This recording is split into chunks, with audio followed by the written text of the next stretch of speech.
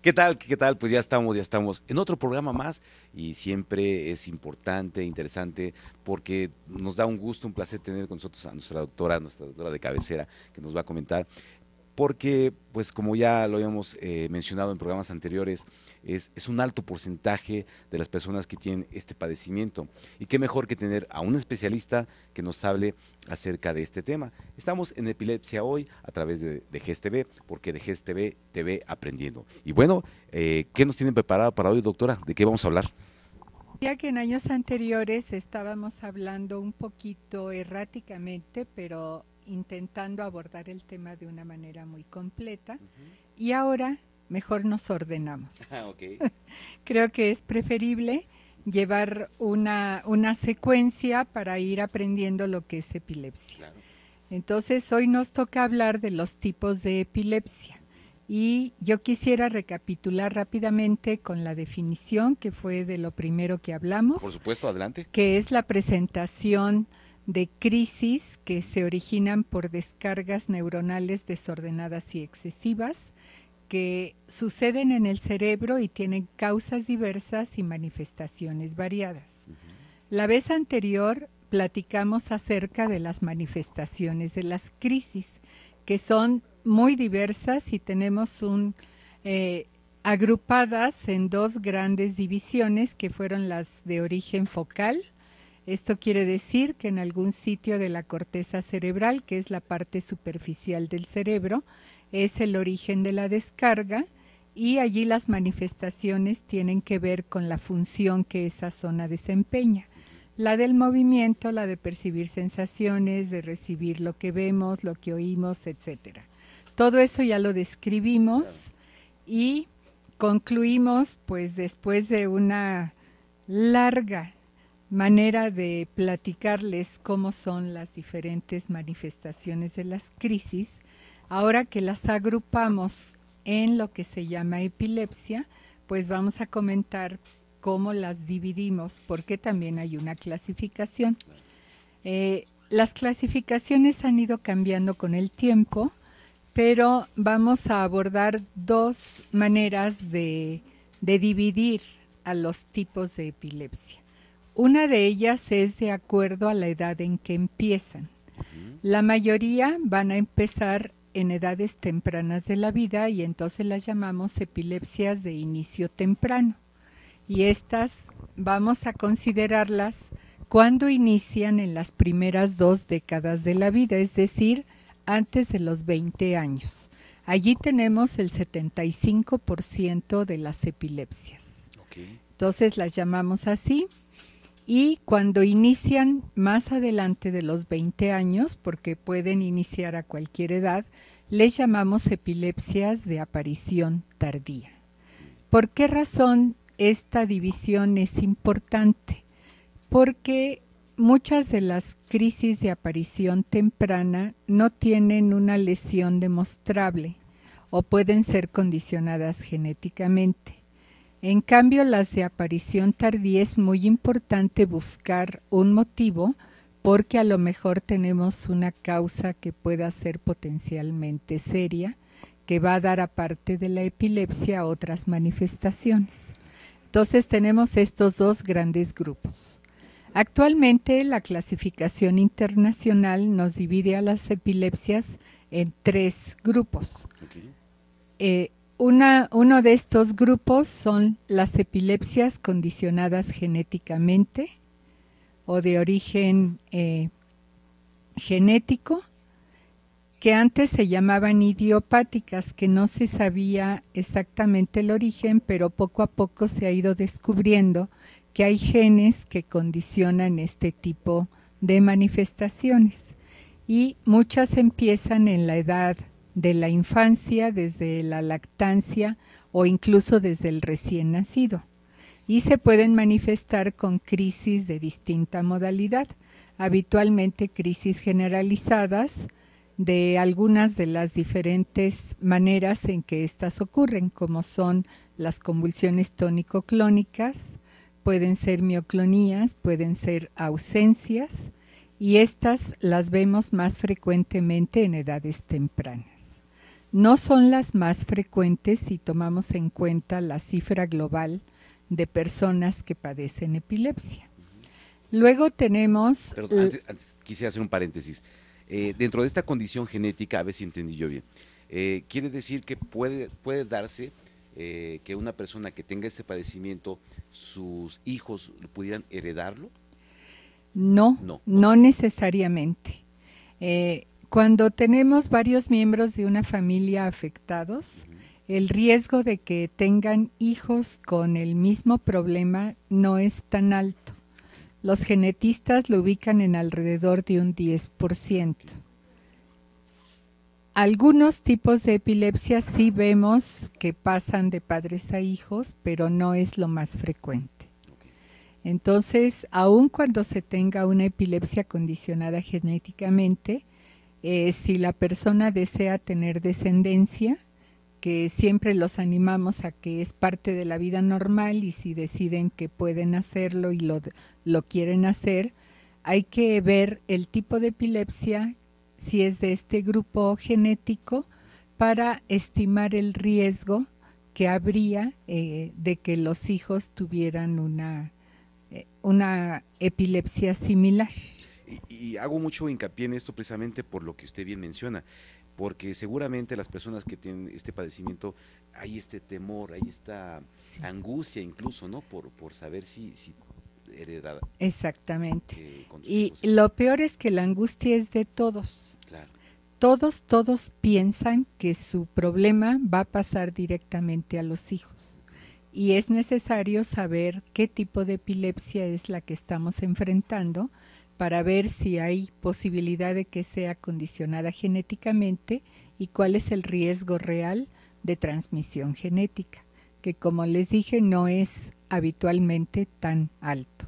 Perfecto. Perdón por la interrupción. Entonces, como les dije, no es este, qué bueno que lo preguntó de esa manera porque esa es la inquietud y no preguntan los pacientes, simplemente tienen su propia concepción mental de que tienen epilepsia y los hijos van a tener lo mismo, prefieren evitar formar una familia y prefieren no tener hijos, cuando a lo mejor su tipo de epilepsia no tiene nada que ver con la genética y tienen las muy altas probabilidades de formar una familia normal. Entonces esto hay que preguntarlo a su médico. Tener un diagnóstico más preciso y ver cuáles son los riesgos. Bueno, otro grupo de epilepsias es la que en la que identificamos una alteración metabólica o estructural que es el motivo de que las crisis ocurran. En estos casos, eh, los estudios que hacemos para tratar de encontrar una lesión en el cerebro o estudios bioquímicos que se pueden hacer en algunos casos nos permiten determinar que hay una enfermedad de fondo que, o una lesión que se sufrió durante alguna etapa de la vida en el cerebro y que esto es el motivo de que la epilepsia esté ocurriendo.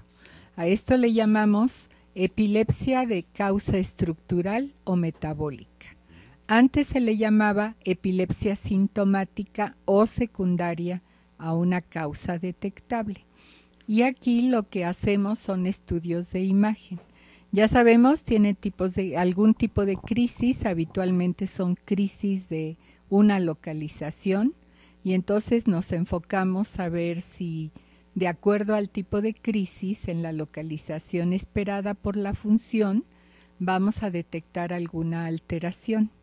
¿Qué alteración podemos hallar? Podemos hallar cicatrices por un golpe en la cabeza, puede haber el antecedente de un evento circulatorio cerebral que dejó un infarto o una hemorragia o una malformación vascular o cisticercosis o un tumor o malformaciones en el cerebro, lo cual es cada vez más frecuente encontrar gracias a que los estudios nos dan una nitidez mayor de la estructura cerebral.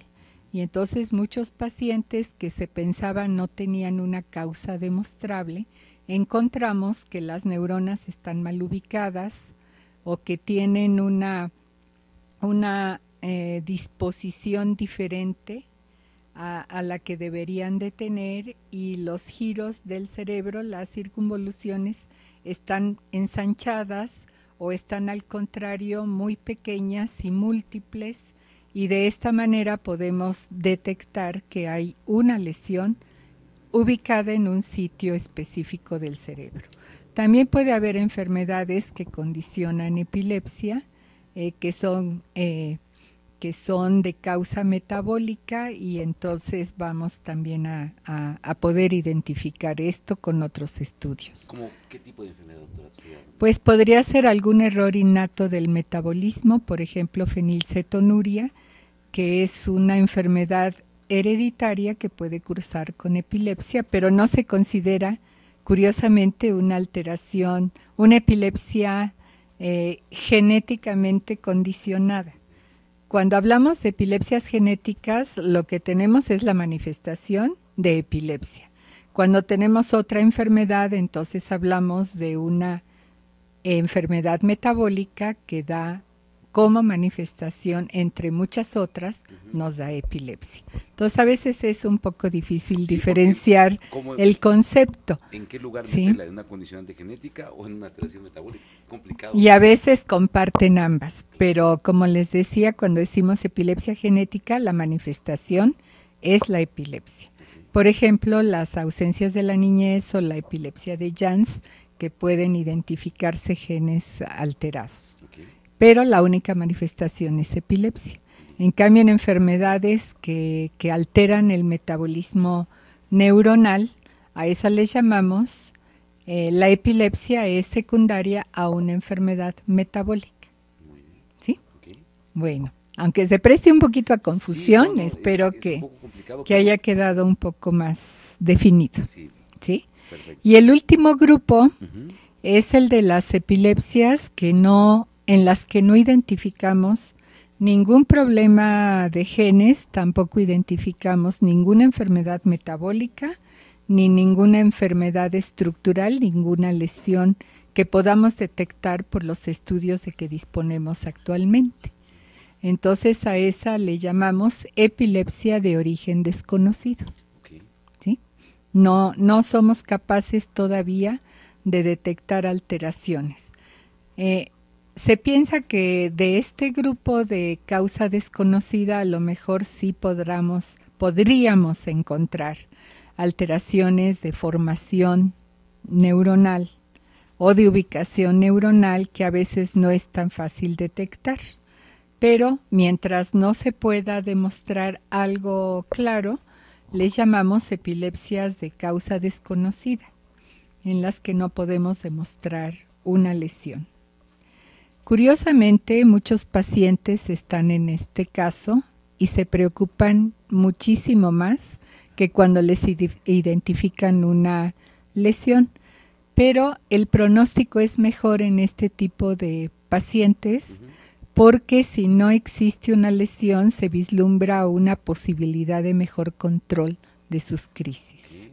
Entonces la gente se angustia y cuando nos escriben a nuestra página epilepsiahoy.com eh, preguntan, ¿qué tengo? Si ya me hicieron un electro, tiene alguna pequeña alteración o a lo mejor salió normal y la resonancia no muestra absolutamente nada. Entonces, ¿qué tengo? Pues tienen epilepsia de causa no demostrada. ¿Sí? Pero es una epilepsia que necesita recibir un tratamiento y que se vislumbra un mejor pronóstico para su control que si se identifica una lesión. Y obviamente si la lesión es progresiva, como sería un tumor, pues ahí el pronóstico es totalmente distinto. Ahí tenemos un problema que va a causar otras alteraciones, además de haberse manifestado como epilepsia. Y en este rango de cuánta, qué porcentaje estaríamos hablando eh, de epilepsia desconocida, más o menos qué porcentaje. Alrededor del 50% de los casos es alto el porcentaje. Sí. porque una vez que ya descarté que no sea de condición genética, que no sea metabólica, eh, ya... Que no sea estructural, que esa es la principal preocupación, estructural de un motivo que pudiera ser grave como un tumor, bueno, pues qué bueno que no tengamos una causa demostrable porque esperamos una posibilidad de mejor control a largo plazo. Y seguramente es algo que no sabíamos, ¿no? Bueno, eh, doctora, estamos llegando ya a la recta final de este programa. Por favor, recuérdenos dónde podemos localizarla para tener más información, sobre todo los chicos y las personas que nos hacen favor de ver este programa. Eh, ¿Dónde puedo expresar mis dudas, eh, buscar más información? ¿Dónde nos pueden leer información de muchos tipos testimonios de pacientes, memorias de congresos y cursos que hemos realizado y también un libro que, que, es de difusión al público, no es un libro técnico, aunque de repente no podemos evitar algún tecnicismo, es imposible, pero lo desglosamos. Y es un libro que se llama La epilepsia al alcance de todos y que pueden encontrar en la página www.epilepsiahoy.com. Y también pueden asistir a las sesiones de información que llevamos a cabo cada mes, el primer sábado de cada mes, de enero a noviembre, el segundo sábado en diciembre, porque además de algo de información, recapitulamos nuestro programa anual y hacemos un convivio para cerrar ese ciclo del año. Y nuevamente en enero volvemos a, a dar inicio y tratamos de modificar el programa para abarcar temas que pudieran ser de interés para las personas y no nada más hablar de epilepsia en general. Entonces desglosamos, aparte de dar una introducción general en cada sesión, desglosamos un tema, por ejemplo, puede ser aspectos nutricionales, puede ser la depresión en epilepsia, puede ser epilepsia y embarazo, y, situaciones especiales que las personas con epilepsia pueden enfrentar y que requieren de que aprendan un poco mejor cómo son, por qué son y cómo resolverlas. Perfecto. Entonces los esperamos, eh, pues por lo menos en la página, que tengan oportunidad de leer más conceptos sobre epilepsia y presencialmente en estas sesiones que son de 9 a 1 en el auditorio del Centro Médico Nacional 20 de noviembre, que me da miedo decir centro médico porque todo mundo se va al del IMSS ah, y este es del ISTE y se encuentra en la colonia del Valle frente al metro Hospital 20 de noviembre de la línea 12. Perfecto. Es entrada libre y pueden ir con cuantas personas deseen. Creo que es lo más importante, doctora. ¿no? A veces eh, mucha gente por miedo, por temor, por, por ignorancia eh, no asiste, no, no busca, no se prepara. Y, ustedes que están ofreciendo esta alternativa sin ningún costo, pues qué mejor que la aprovechen, ¿no? Por supuesto pues ahí está. Entonces yo invitaría a toda nuestra audiencia que si hay jóvenes con epilepsia o estos jóvenes tienen algún familiar que tenga epilepsia, pues traten de hallar mejor la información porque les ayudará a tener una mejor calidad de vida, de lo cual platicaremos un poco más adelante en esta serie de programas, pero es muy importante eh, abarcar el aspecto médico que es primordial, pero sobre todo las repercusiones. Y las repercusiones eh, psicológicas y sociales que son muy frecuentes y a veces muy serias, eh, tienen una solución inicial con la información. Informarse eh, para que vean que los temores que la epilepsia les ocasiona a lo mejor están exagerados, que no es para tanto, que lo van a poder enfrentar y resolver muy bien y que van a llevar una vida totalmente normal. Perfecto, bueno, pues ya, lo, ya lo mencionó la doctora. Un placer siempre, eh, todo todo el conocimiento que usted nos regala, todo su tiempo. Es, un gusto estar con usted, doctora. Y bueno, nosotros seguimos aquí en DGS TV, TV Aprendiendo, por supuesto, en, eh, a través de la programación que tenemos preparada para el día de hoy. Estamos en Epilepsia Hoy, mi nombre es Guillermo Gómez y no me resta más que agradecer al licenciado Manuel Salgado, director general de Escuelas Secundarias Técnicas, por las facilidades que nos da para llevar a cabo este y otros programas. Gracias, nos vemos eh, próximamente aquí con la doctora en Epilepsia Hoy.